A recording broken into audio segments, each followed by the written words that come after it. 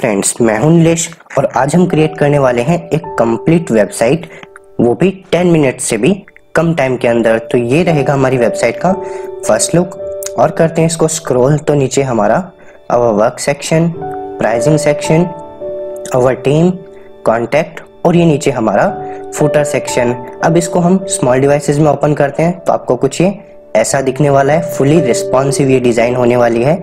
और इस वेबसाइट को हम बहुत ही कम टाइम के अंदर यानी 10 मिनट से भी कम टाइम के अंदर इसको क्रिएट करने वाले हैं without writing a single line of C code तो चलिए स्टार्ट करते हैं।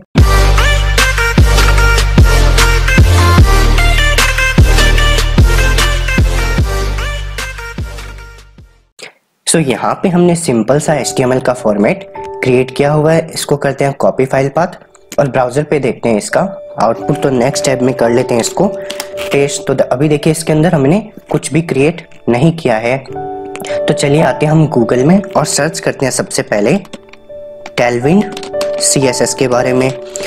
सर्च करते हैं तो फ़र्स्ट लिंक आपको मिलेगी टेलविंड सी ये इसकी ऑफिशियल वेबसाइट है। तो अब करते हैं हम इसमें गेट स्टार्टेड पे।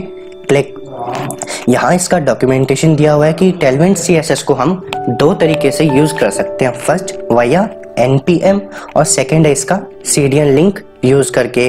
तो इस वीडियो के अंदर हम सीडियन लिंक का यूज़ करने वाले हैं। नेक्स्ट वीडियो के अंदर मैं आपको एनपीएम के थ्रू इसको कम्प्लीटली इंस्टॉल करना और कैसे हम इसको यूज़ करते हैं डिटेल में मैं बताने वाला हूँ। तो मेरी नेक्स्ट वीडियो को आप ज़रूर देखिएगा। तो अभी हम सीडियन का यूज़ करने वाले हैं। तो इसको करते हैं नीचे स्क्रोल और नीचे आने पे आपको सीडीएन लिंक इसका दिखाई दे जाएगा। ये देखें, यहाँ पे इसको हम सीडीएन लिंक के थ्रू भी एक्सेस कर सकते हैं। बट सीडीएन लिंक में आपको कुछ फैसिलिटी है जो प्रोवाइड नहीं की जाती, जैसे यहाँ पे देखिए इस डिफ़ॉल्ट थीम को हम कस्टमाइज नहीं कर सकते, कोई भी डायरेक्टिव्स यूज़ नहीं कर सकते और कोई थर्ड पार्टी प्लगइन्स इसमें हम यूज़ नहीं कर सकते हैं। तो अगर आपको इन सब का यूज़ नहीं करना हो तो ही मैं रिकमेंड करूँगा आप सीएसएस इसका जो सीडीएन लिंक है, उसका यूज़ करें। अदरवाइज़ इसको हमें कंप्लीटली इंस्टॉल करना पड़ेगा। तो अभी इस वेबसाइट के अंदर हम कोई भी एक्स्ट्रा प्लगइन यूज़ नहीं करने वाले हैं तो मैं ओनली आपको इस सीडीएन लिंक का यूज़ करके क्रिएट करने वाला हूँ वेबसाइट तो इसको करते हैं कॉपी और आते हैं हमारे एस वाली फ़ाइल में और टाइटल के नीचे कर लेते हैं जस्ट इसको पेस्ट इसके बाद देखिए अगेन आते हैं हम गूगल में और नेक्स्ट टैब में सर्च करते हैं टेलविंड ब्लॉक्स सर्च करते हैं, देखिए फ़र्स्ट लिंक आपको मिलेगी, ये गिटहब की लिंक है, इस पे करना है हमें क्लिक क्लिक करने पे आपको ये वेबसाइट ओपन हो जाएगी टेल ब्लॉक्स नेम वाली। अब इसके अंदर सब, देखिए यहाँ पे ब्लॉक्स पहले से बनाए हुए हैं रेडीमेड हमें क्या करना है? सबसे पहले हमारा हेडर क्रिएट करना है। तो नीचे आते हैं, जहाँ पे ये हेडर है हमारा। तो देखिए, ये हेडर सेक्शन है। तो हेडर सेक्शन आपको किस टाइप का चाहिए? ये इसमें आपको डिज़ाइन दी हुई है। ये सिंपल सा है। ये देखिए, यहाँ पे इसका लेआउट दिखाई दे रहा होगा। सेकंड वाला हेडर आपका कुछ इस तरीके से होने वाला है। और थर्ड हेडर आपका, ये देखिए इस तरीके का है। तो जो भी हेडर आपको पसंद आए, वो यहाँ से आप चूज़ कर सकते हो। तो यहाँ से कलर्स भी आपको दिखाई दे रहे होंगे। तो हम ग्रीन कलर ले लेते हैं। और इसके बाद में जो फ़र्स्ट वाला हेडर है, उसको करते हैं चूज़ तो ये नैव बार है आपकी। क्या करेंगे? व्यू कोड पे क्लिक करना है। और इस कंप्लीट कोड को करते हैं यहाँ से कॉपी और ब्राउज़र सॉरी एडिटर में आते हैं। और हमारे बॉडी टैग के अंदर कर लेते हैं। पेस्ट यहाँ से इस गिटहब को करते हैं रिमूव और ऊपर ये जो लिखा हुआ आ रहा है, इसको भी कर देंगे। रिमूव यहाँ से। सेव करते हैं और अपनी वाली फ़ाइल को करते हैं यहाँ से। रिफ्रेश तो ये देखिए, यहाँ पे मेन्यूज वगैरह क्रिएट हो चुके हैं। अब इनको कर लेना है हमें चेंज तो जो आपका ये लोगो है, उसका नेम चेंज कर देते हैं यहाँ पे। हम कर देते हैं इसको। टेलविंड वेब और यहाँ पे जो आपके मेन्यूज हैं, वो भी हम चेंज कर लेते हैं। तो फ़र्स्ट मेन्यू है हो जाएगा हमारा होम इस तरीके से हम सारे मेन्यूज चेंज कर लेते हैं। हमने मेन्यूज चेंज कर लिए हैं और जो ये बटन है, इसकी वैल्यू भी चेंज कर देते हैं। तो यहाँ पे कर देते हैं लॉगिन इसको करते हैं सेव और ब्राउज़र पे करते हैं रिफ्रेश तो ये देखिए, यहाँ पे आपके मेन्यूज रेडी हो चुके हैं। अब जो ये आपका बटन है, वो हमें ग्रीन कलर में चाहिए, जैसा इसके अंदर दिखाई दे रहा है। तो चलिए उसको ग्रीन कैसे करते हैं देखिए। टेलविन सी का यूज़ करके। तो ये देखिए बटन यहाँ पे आपको बैकग्राउंड ग्रे दिखाई दे रहा है। इसको कर देना है हमें बस ग्रीन और इसकी वैल्यू सेट कर देनी है 500 और इसके बाद में जो टेक्स्ट है, उसको कर देना है वाइट तो इसके आगे लिख देंगे टेक्स्ट डैश वाइट सेव करते हैं और रिफ्रेश तो ये देखिए ऑटोमेटिक हमारी नैव बार बन के कंप्लीट हो चुकी है। अगेन आते हैं। और इसके बाद अब हमें क्या चाहिए? हमारा जो नीचे वाला सेक्शन है तो हीरो से इमेज बोलते हैं उसको। तो ये देखिए नीचे हीरो इमेज है। इस पे हमें कर देना है व्यू कोड पे क्लिक और कंप्लीट कोड को करते हैं यहाँ से कॉपी और आते हैं हमारे एडिटर में। और इसके नीचे हेडर के नीचे कर लेते हैं पेस्ट सेम गिटहब लिखा हुआ आएगा। इसको यहाँ से रिमूव करना है और ऊपर ये सारी जो भी नेम्स वगैरह आते हैं हम कॉपी करते हैं तो इसको भी कर देते हैं रिमूव सेव करते हैं और अपनी वाली फ़ाइल को करते हैं।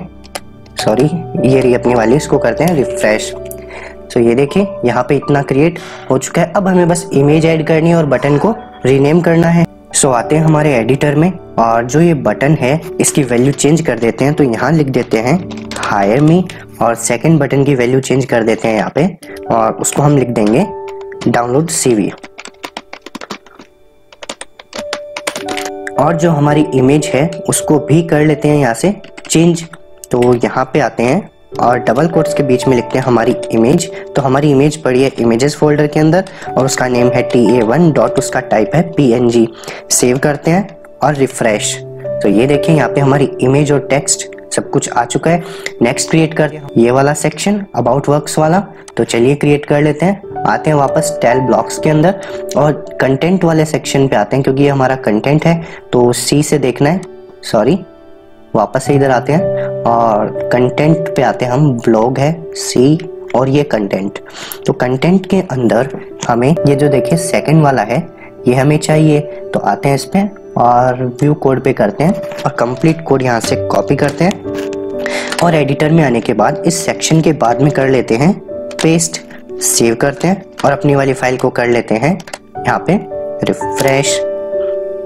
तो ये देखिए नीचे आ चुका है। अब इनको कर लेना है हमें एडिट अपने अकॉर्डिंग। तो सबसे पहले सेम इस गिटहब को करते हैं रिमूव। और ऊपर जब हम कॉपी करते हैं तो ये टेक्स्ट आता है इसको भी कर लेते हैं रिमूव। और जो भी हमें इमेजेस चाहिए या टेक्स्ट चेंज करना है वो हम यहाँ से चेंज कर लेते हैं। सो so, यहाँ हमने वैल्यूज़ और इमेजेस देखिए चेंज कर ली है। इसको करते हैं सेव और ब्राउज़र पे आके करते हैं रिफ्रेश तो ये देखें, यहाँ पे हमारी इमेजेस आ चुके हैं, हमारा ये वर्क सेक्शन कंप्लीट हो चुका है। नेक्स्ट हमें क्रिएट करना है हमारा। ये देखिए इसमें।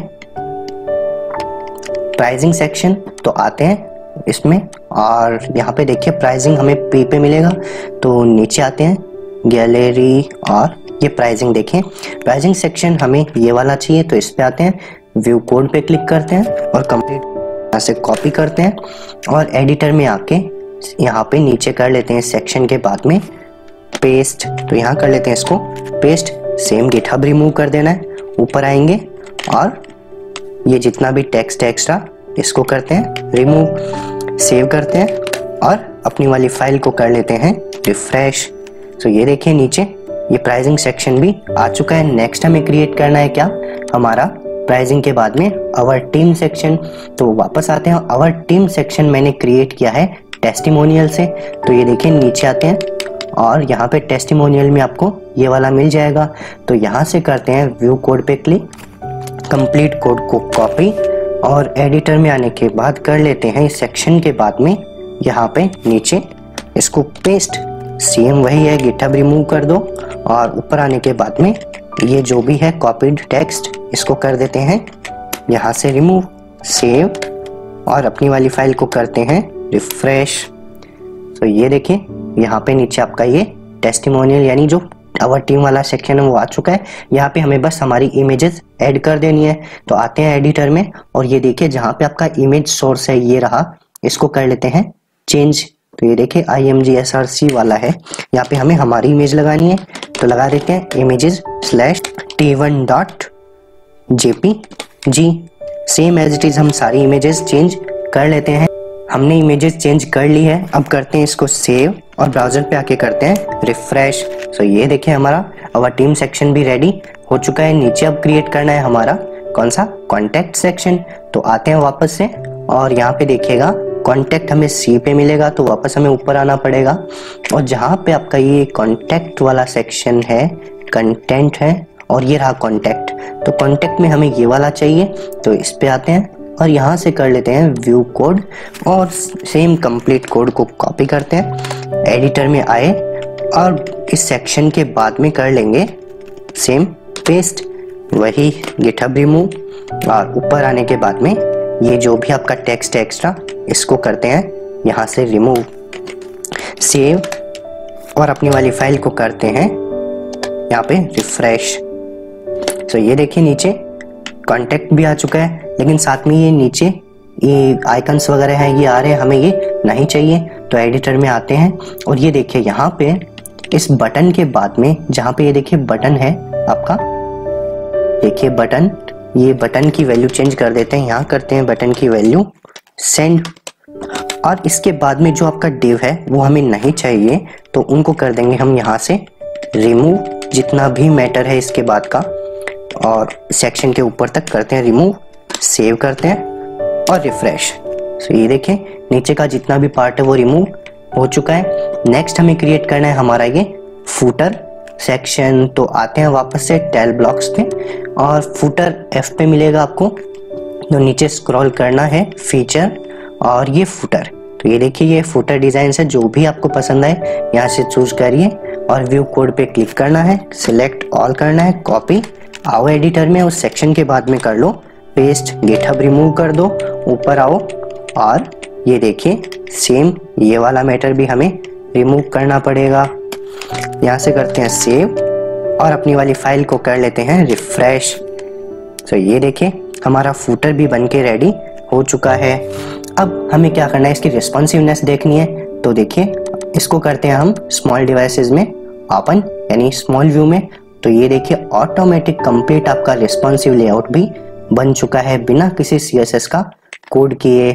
सो आई होप ये वीडियो आपको पसंद आई होगी। अगर आपको ये वीडियो पसंद आई हो तो प्लीज़ हमारे चैनल को सब्सक्राइब ज़रूर करिएगा और नेक्स्ट वीडियो के अंदर मैं आपको इसको कम्प्लीटली इंस्टॉल करना एनपीएम के थ्रू और इसको यूज़ कैसे करते हैं डिटेल आपको समझाने वाला हूँ। तो नेक्स्ट वीडियो आप ज़रूर देखिएगा।